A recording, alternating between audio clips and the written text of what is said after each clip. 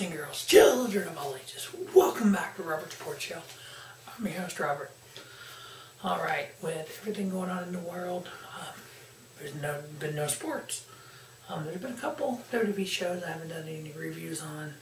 Um, everything's been taped or just hasn't been felt like doing reviews or anything. NASCAR's back May 17th. Darlington, oh gotta love it. We have seven races in 10 days.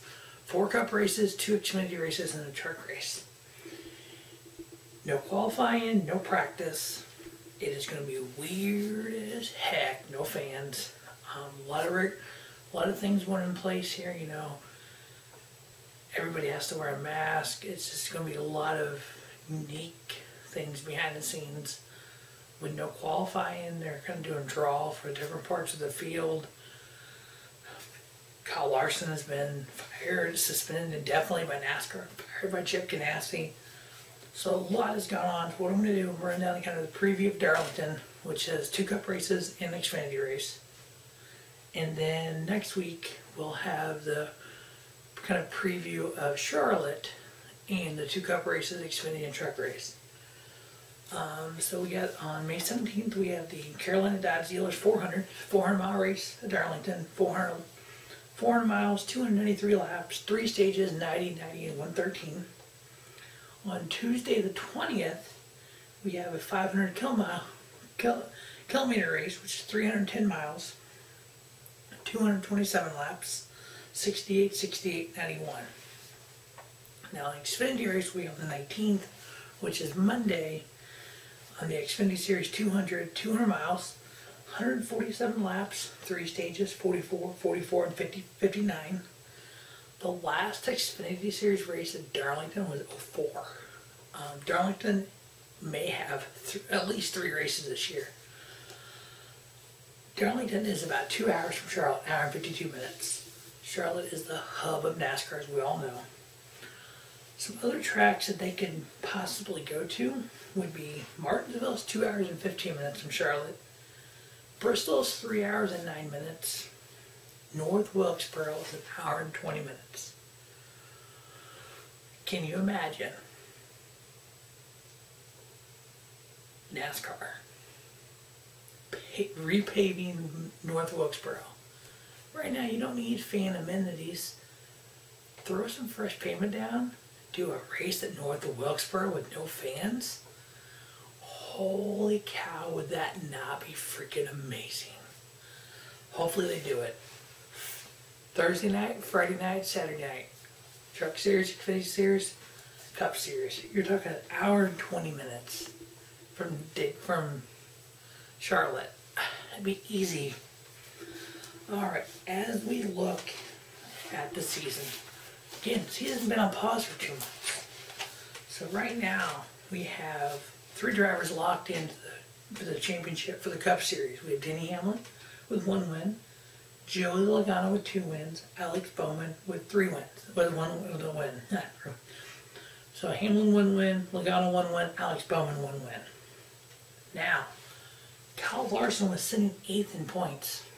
He's been suspended indefinitely and fired by Chip Ganassi. Now, Matt Kenseth was replacing Kyle Larson, was given a waiver. So if that 42 team can get in the top 30 points and win a race, they can be in the playoffs. Now, Ryan Newman, we all know he got hurt at Daytona. He's missed three races. He got a waiver, which I understand his waiver. I don't understand Kyle Larson, Kenseth's waiver. So if they can be in the top 30 points and win a race, they could be in the playoffs. Whew. A lot could, lot could happen this year. In the Xfinity Series, uh, we've had four races so far. Noah Gragson, Chase Briscoe, Harrison Burton, Brandon Jones all locked their way in. In the Truck Series, we've had two races. Grant Enfinger has already locked himself in. Now, on the picks here on Robert Sports Show. Truck Series, I'm 2 0. Grant Enfinger, Kyle Busch. Boom, boom, 2 0.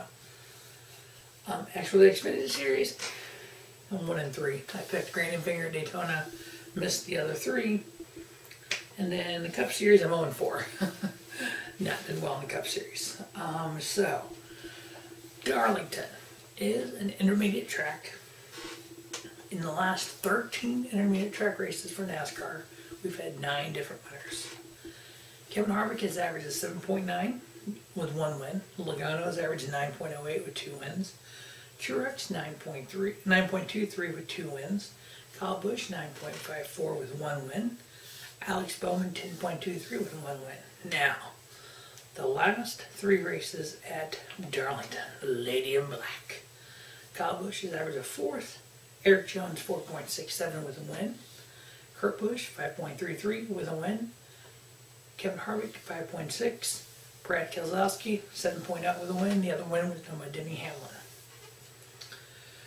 Now, the Xfinity Series in the last 12 intermediate tracks. Michael Annett 8.0.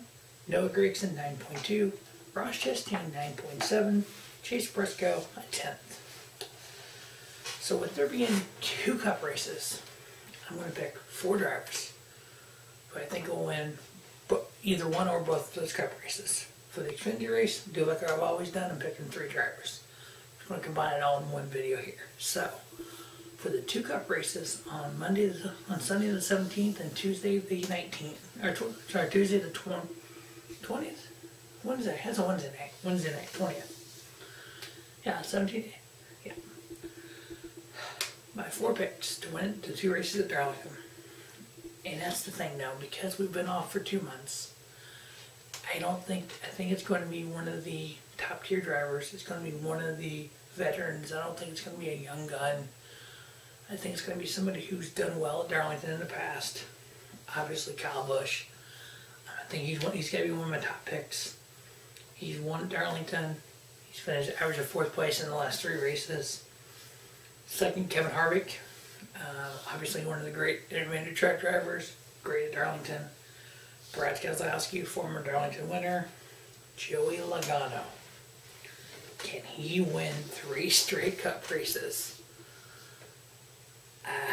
Uh, I mean, it's possible. It's possible.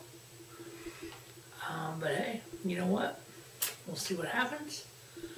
Darlington, two races. That's, awesome.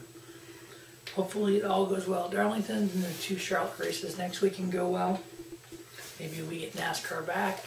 We have a great season. But as NASCAR is hopefully back, as sports start coming back here in 2020, um, hopefully everyone is healthy due to everything going on in the world. I know it's affected everyone in different ways. Um, hopefully everyone is doing great. As always, thanks for watching Robert Sports Show. Don't just have a great day. Have a spiffy day. Robert Sports Show, your YouTube leader in sports channel content.